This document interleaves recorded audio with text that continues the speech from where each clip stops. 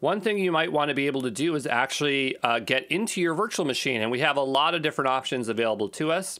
In fact, we have three ways to connect to our virtual machines. We have RDP, SSH, and Bastion. And so if you don't know these things, we're going to walk through them right now. The first is Secure Shell, and this is a protocol uh, to establish a secure connection between a client and server. This is how you can remotely connect to a uh, Azure virtual machine via a terminal. Uh, SSH happens on port 22 via TCP. Port 22 is something you should absolutely remember as SSH. Uh, and you will generally use an RSA key pair uh, to gain access. You can also use the username and password, but most people don't do that anymore. Uh, another way of getting access to your machine is by using RDP, which is Remote Desktop Protocol.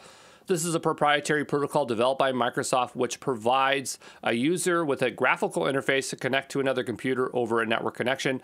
Basically, what it means is that it's going to open up a, a window and you're going to be able to see uh, like another Windows desktop in it and control it remotely. Uh, so, this is how you can remotely connect Windows Server to a virtual desktop. RDP happens on port 3389 via TCP and UDP. I think there might be some other ports, but this is the port that you need to know.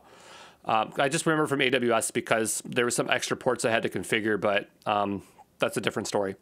Uh, then you have uh, your uh, Bastion, which is your third option. And so Azure Bastion, which is actually an, uh, an, Azure service, is a service that you can deploy, lets you connect to a virtual machine using your browser and Azure portal. Uh, and so the reason why this is so useful is that um, if you have, uh, let's say, a Chrome desktop, uh, which doesn't actually, uh, it can't actually use SSH um, client or can't use the RDP client. This just gives you another way of using the browser uh, so you don't have to install those clients. But we'll get into that shortly here, okay?